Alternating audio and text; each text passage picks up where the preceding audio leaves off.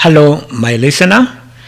Uh, we are back again with another question, which uh, is a continuation of our previous lesson, which we discussed some times back on simple interest.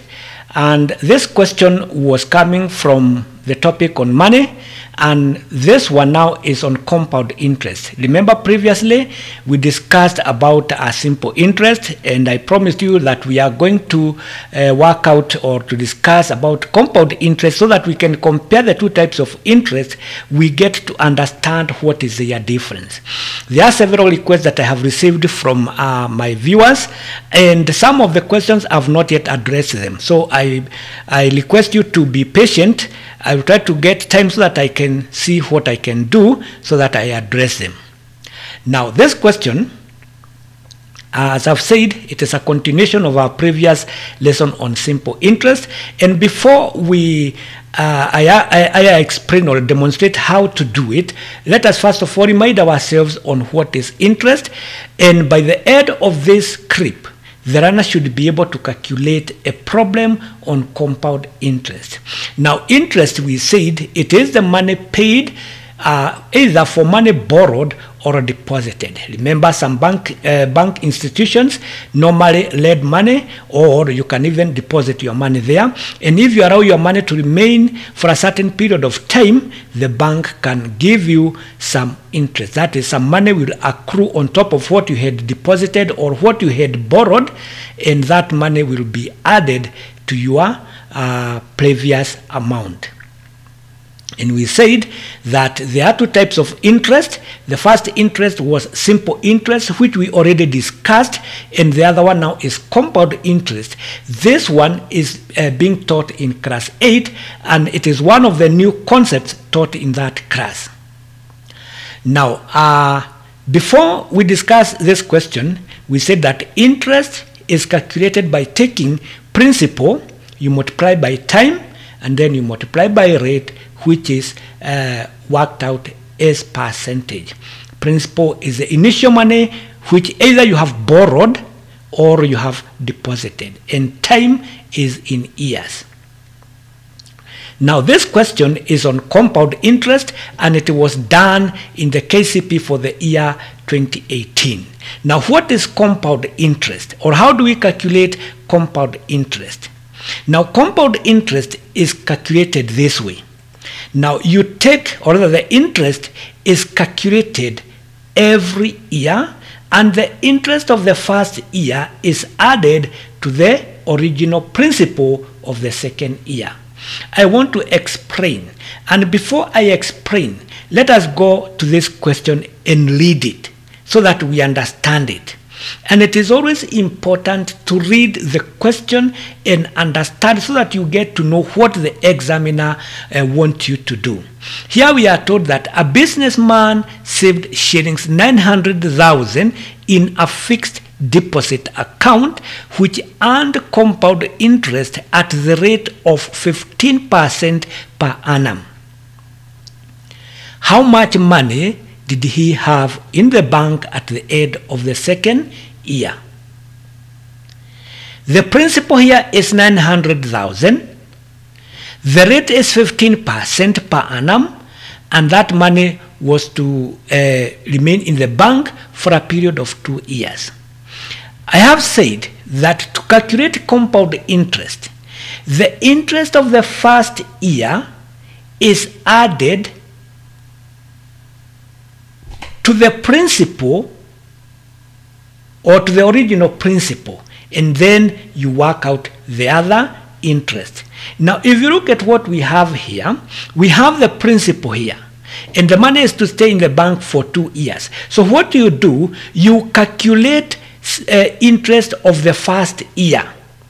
The normal way you do whenever you are calculating simple interest. But now time is 1 because you have to calculate interest of the first year and now that interest which you are going to get you should add it to the principal so that now when it comes now to the second year you now have a new principal which will now include the original principal plus now the interest which you have already calculated Now let's see how we go about this one. The information that is given in this question is principal, which is already given there as 900,000, rate is 15%, and time is two years. So what do you do? You first of all calculate the interest of the first year. And how do you calculate that one? As I have said, you just take uh, your, your principal, you multiply by 1 and then you multiply by the rate. 1 is the first year. And I'm calling this one interest 1 because it's the first interest for the first year. Now with this one now, you just take 900,000, you multiply by 15 over 100. And then you deal with those zeros as uh, in the normal way. And now finally you'll be left with 9,000, you multiply by 15 to get the first interest as 100, rather uh, 135,000. This is now the interest of the first year. Now what you do after this, you are now going to take that interest of the first year, you add it to the principal to get this new principal here. And of course, you are taking 900,000, you earned 135,000 to get this new principal, which will now be about 1 million 35,000 shillings. Now, let us now calculate the interest of the second year so that you understand what we are saying. You are now going to take, or rather, we, first of all call it interest two. You take this um, new principle here, which includes the original uh, principle plus the new interest that you have calculated for the first year. Once you add the two, you are now getting this figure here, which is about a million and 35,000 shillings multiplied by another one more year times the rate. Of course, now this now will be uh, 1 million that 5,000 shillings multiplied by 15 over 100 and as usual uh, as usual it is good to deal with those uh, zeros so that now you are left with um, 10,350 you multiply this one by 50 so that now you get the interest for the second year which will now be uh, 155,250 now we have this first interest here, and then we have the second interest here. This was for the first year, and this is now the interest for the second year, which has been calculated after you take that interest of the first year added to the original principal. So now, if you go back now to the question you are asked, how much money did he have in the bank at the end of the second year? Now, to get this, you are now going to get the original principal, you add the interest for the first year, and then you add the interest for the second year. And therefore, in total, rather, the total amount of money that will be in the bank will be the 900,000 you earned. Uh, 135,000 that is the interest for the first year and also you add uh, 155,250 the interest for the second year. And then you add everything so that you get the total amount of money that will be in the bank at the end of the second year which will now be equals to shillings. Uh, this one is 11 million, now 1 million 190,250. This is now going to be the total amount of money that this businessman will have in the bank at the end of the second year. Now, there is something that is very important here. As I've told you, it is always important to read the question and understand.